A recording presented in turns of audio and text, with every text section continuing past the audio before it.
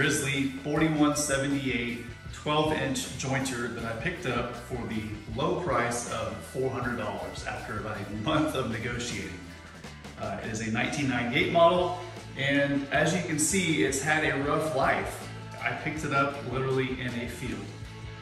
So, is it salvageable? I don't know. Uh, here's what I do know. There's no motor. Um, the electrical has been cut out of it, quite literally. Um, but that's about all I can tell that's bad. Here's what's good is while yes, it's very rusted, the beds move. I was able to free them. Uh, the, the head here um, spins. Uh, there are grease zerks that before I started filming this, uh, I pumped some grease into. It spins just fine. Um, everything else moves and does what it's supposed to do, but ultimately right now it's just a hunk of useless cast iron. So my intent is to restore this. I think I can get it usable for about $250. And that includes a new motor. It's a three horse, 220 volt single phase motor I can get on Amazon for about 200 bucks. Um, I'm sorry, 175 bucks. I need to figure out a switch of some sort because that's been hacked off. Uh, I will need new blades and who knows what else, but let's get started.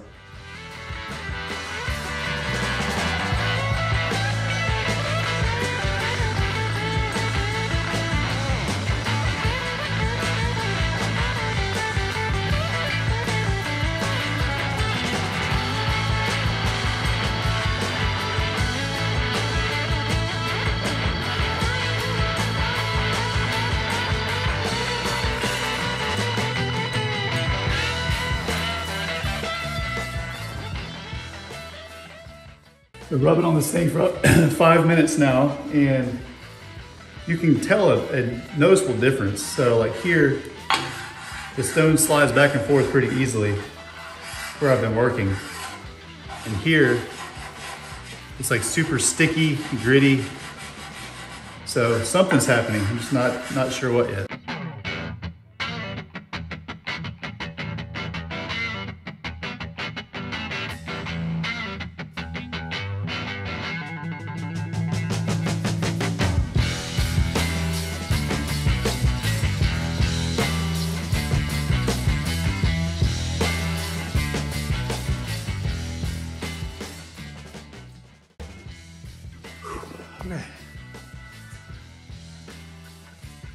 I'll tell you, my arms haven't had a workout like that since I took the blue pill for fun in college. And uh, yeah, it's a story for another day. Anyways, let's see what we got here.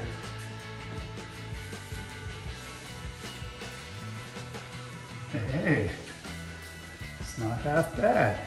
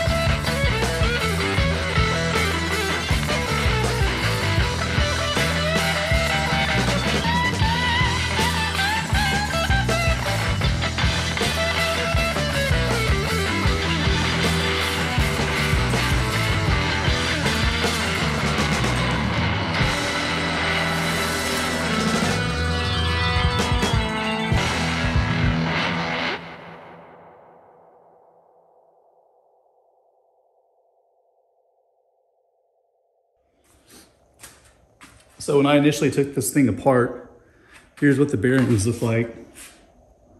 Obviously not in awesome condition. It's, it sounded like a freight train going down the road. It was very noisy. So we put new bearings in it and this is what it sounds like now. I'd say that's quite an improvement. So I'm gonna put this back on the machine uh, after I put the pulley and stuff back on. And um, I'm gonna use that to mock up the motor plate and we'll get to that in the next part.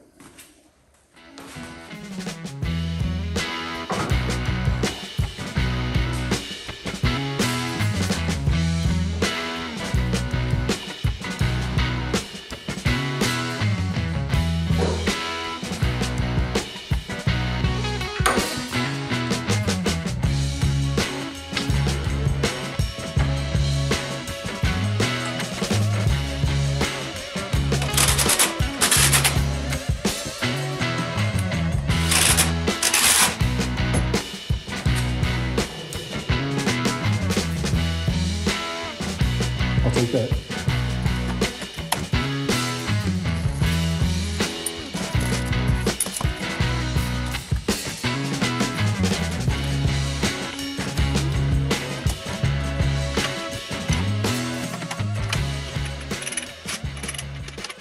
I want to show you this so you don't make the same mistake I do. So I have a cheap $100, 120 amp plasma cutter here, and I love it.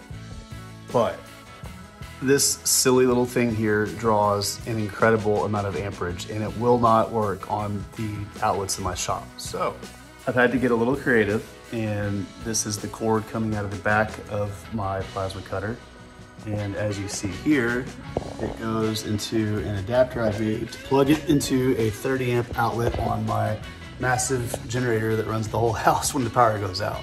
So the problem is the shop is, um, it's a 14 2 wire, so it's only good for like 15 amps, so it throws the breaker. And this is the only way I can get enough amperage to the plasma cutter without throwing the breaker, and it needs all that amperage to actually cut through metal. So.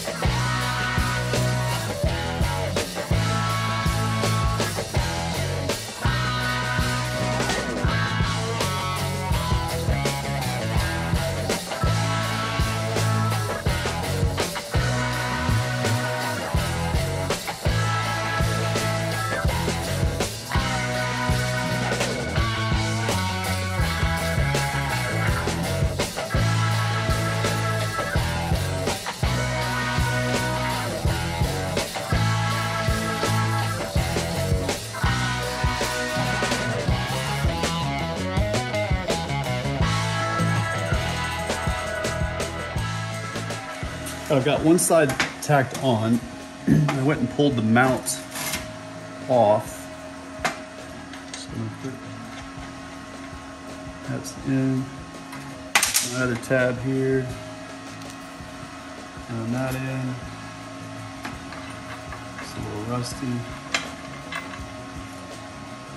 So got my tab located. I'm gonna burn it in real quick.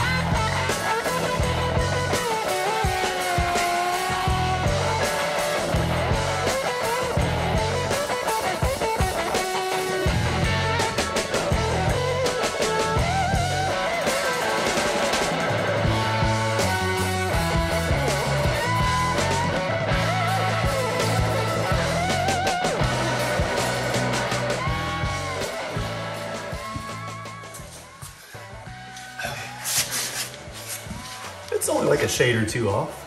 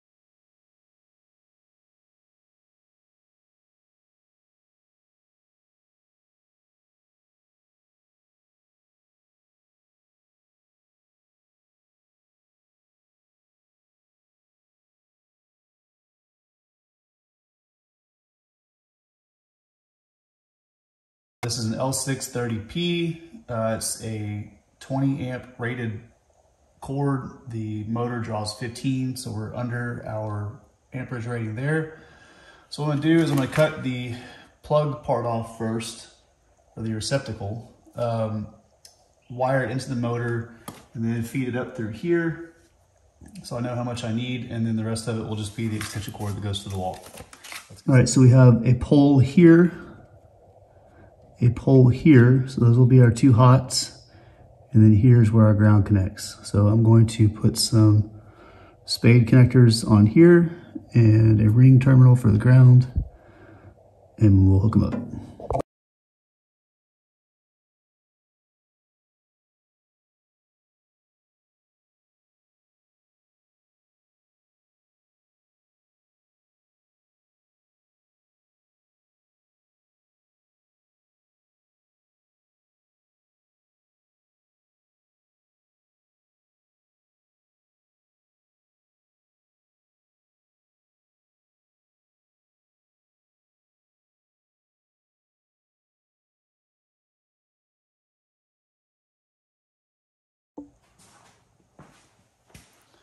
I have everything cleaned up out of the way. Check the box one more time. Okay. I'm gonna plug this thing in real quick.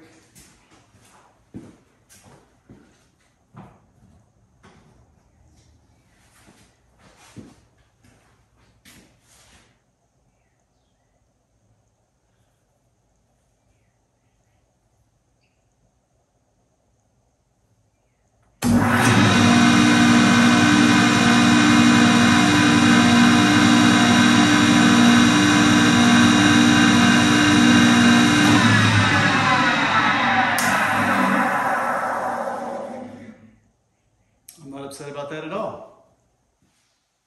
No fires. Nothing smells like it's burning. How about that?